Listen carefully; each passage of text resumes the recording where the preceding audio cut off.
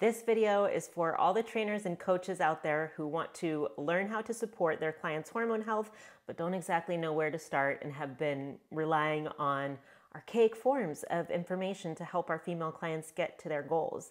If you don't know me yet, my name is Omega. I am an exercise scientist, menstrual cycle educator, and founder of one of the first certifications of menstrual cycle health, fitness, and nutrition so that coaches can know how to optimize and balance their clients' hormones while getting them to their goals, baby.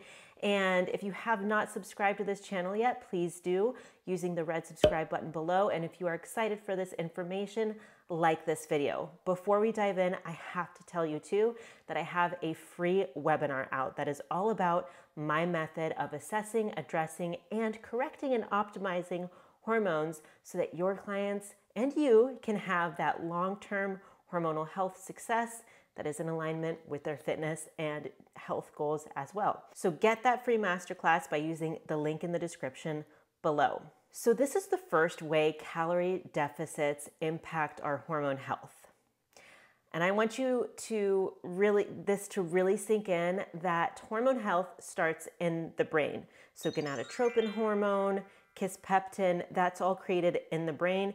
And then that sends signals down to the ovaries to start maturing follicles, which will become eggs, which lead to a healthy ovulation and a healthy luteal phase and for good fertility in general. So this 2020 research article by Navarro and colleagues showed us that when we restrict calories, we also restrict kisspeptin in the brain. And kisspeptin, like I just kind of gave away, regulates gonadotropin hormone and luteinizing hormone, which, like I just said, is the first step for ovulation to occur. And so, anytime we are reducing fertility, we're also reducing overall female health.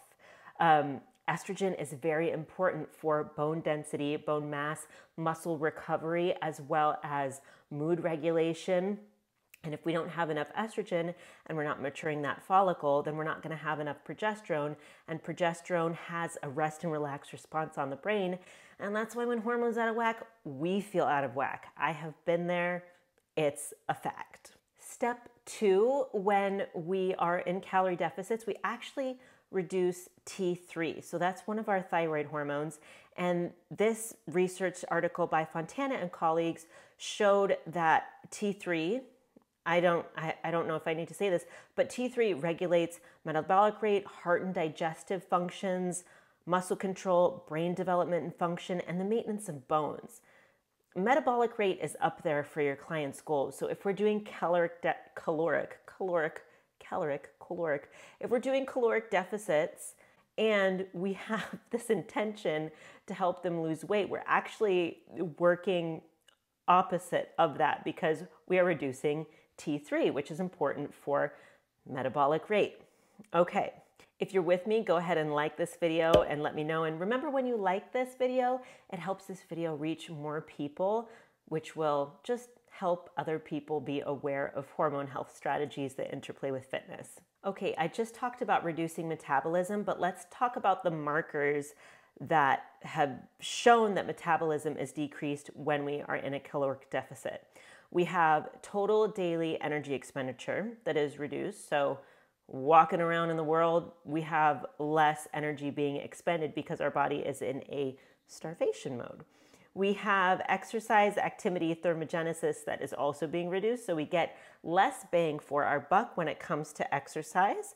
And so the caloric deficit should come from exercise, it should not come from caloric restriction we have a reduction in non-exercise activity thermogenesis. So that is NEAT. And we all know that NEAT exercise, like getting our steps in every day, is so important and can just work as a cherry on top in terms of helping our clients get to our goals. Well, that cherry on top is taken away and you're left with a pile of mushy, warm ice cream underneath if you are in a calorie deficit. And then we have the thermic effect of food, which is impacted as well. And so when we eat, we our body heats up and it burns calories just to metabolize that food. Well, that is also taken away when we're in a caloric deficit as well. So so far we have kisspeptin being affected and that impacts ovulation, eh, estrogen production and progesterone production. We also have T3 being reduced, and we also have all these metabolic markers for success being reduced as well. And number four, and not surprisingly, we increase, we we increase the number of fat cells that we have. And this is true for men and women. This is called adipocyte hyperplasia. And this is why so many people believe that they have damaged their metabolism from dieting and don't think they can eat more than 1200 calories a day. It's because they have increased their number of fat cells. And little do they know that if they increase their calories and increase resistance training, they're gonna turn the tables. And you, as a coach, already know that. So, if you got something out of this video, make sure to like it, subscribe to this channel if you have not already, and absolutely watch this free masterclass that I have that will teach you how to assess, address, and correct and optimize your clients' hormones so that your clients and you can make greater success in every area of your life. Thank you so much for watching this video, and I will see you in the next one. Bye.